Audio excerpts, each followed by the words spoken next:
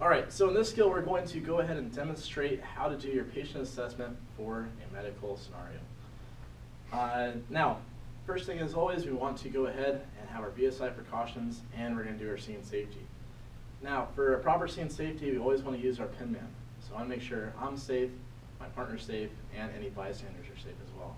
I'm also looking at the scene for any environmental hazards.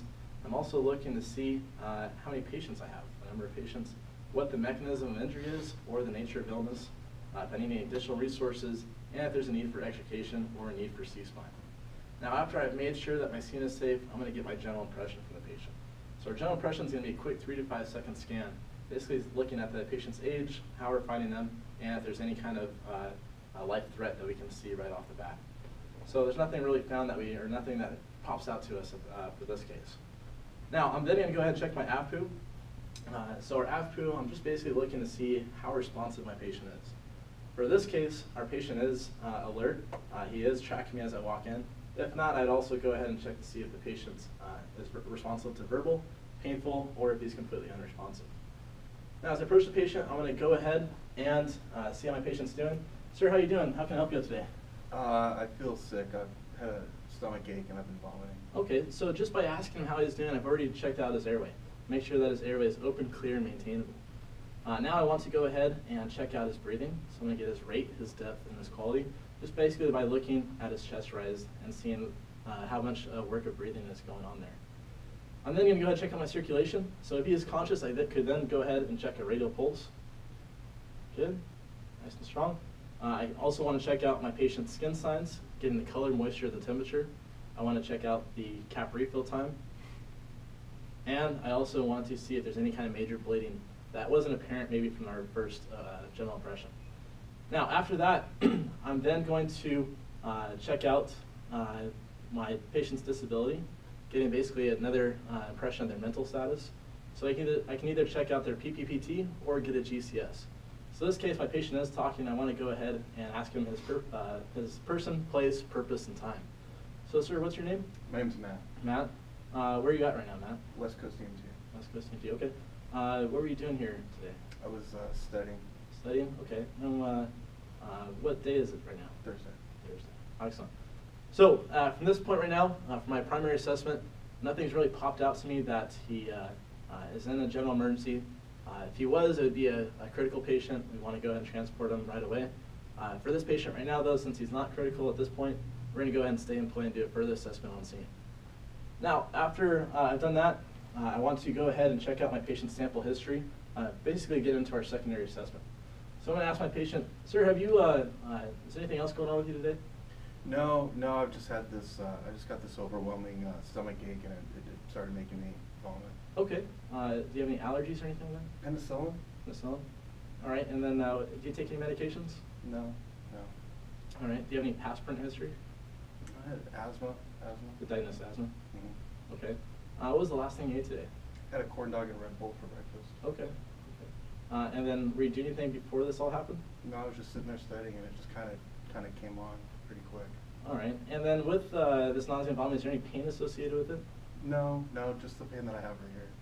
Okay. Uh, so that abdominal pain, mm-hmm. uh, is there any uh, thing that makes it better, anything that makes it worse? If I sit up like this, yeah, it, it kind of makes it feel better. Okay, so we'll keep you sitting up just like that. Okay. Okay. Uh, how, could, how would you describe this pain? It's just kind of all, just kind of a, just kind of spreading, just all kind of right here. Okay. Is it in your your uh, right side or lower side It's or? down here, it's down here. Okay. Um, and uh, the severity of it, what would you uh, rate this pain if I give you a scale of 1 to 10, 10 being the worst pain you ever felt in your life? I'd say it's a seven, 7, okay. And then uh, what time did this all start out? like twenty minutes ago. 20 minutes ago, okay. So now I'm going to go ahead and start getting to my focused assessment. Uh, what I want to do in my focused assessment is basically I want to focus on the body part or the body region of what's being affected. So since it is the abdominal region, uh, I want to go ahead and do my OPA. I want to observe, palpate, and auscultate. So I'm going to go ahead and observe the abdomen, looking for any kind of DCAP-BTLS or any kind of deformities that really stand out. I'm also going to go ahead and palpate, palpate all four quadrants, uh, palpating for uh, Dr. German, things like that. And for auscultate, I can't really uh, auscultate anything for the abdomen. Uh, nothing really will jump out. Uh, if you had any kind of shortness of breath or anything like that, I might want to go ahead and get some lung sounds. Uh, but Now I'm gonna go ahead and get a set of vital signs. I'm gonna have my partner go ahead and get my vital signs. He's gonna get me my blood pressure, my heart rate, my respiratory rate, uh, lung sounds if I haven't got them already. He's gonna check out the pupils, and he's also going to uh, reassess his skin signs.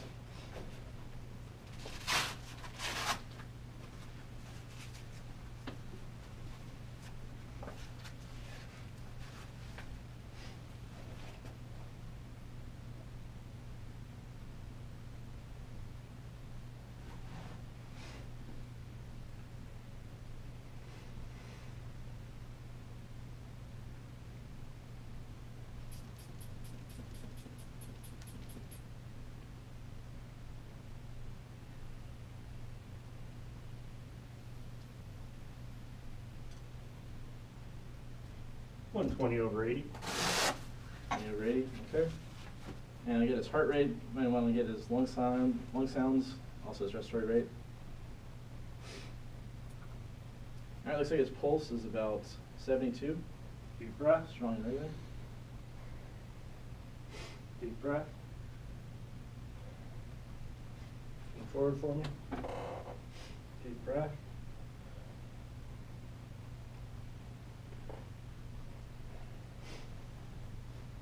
Right, so while Brian's getting the lung sounds there, I just noticed his respiratory rate, say it's about 16 at this time. So for this patient right now, uh, he's uh, still not a critical patient. We're going to reassess him every 15 minutes on the way to the hospital. Uh, meanwhile, on the way to the hospital, we're also going to do a radio report. In our radio report, uh, we're going to go ahead and get our patient's age. Uh, we're going to get his chief complaint, which is abdominal pain. Uh, we also want to give the hospital uh, any interventions that we did for him. So basically, the only intervention that we've done for Matt here today is that uh, we're transporting him. We might be able to give him some oxygen, uh, some low-flow oxygen, just maybe to help with any kind of nausea or vomiting. Uh, and we're also going to put him in a position of comfort, which he stated that sitting up makes him feel a lot better. Uh, and finally, we're going to finish it off with giving them the vital signs that we just found, as well as our ETA to the hospital. That's our patient assessment.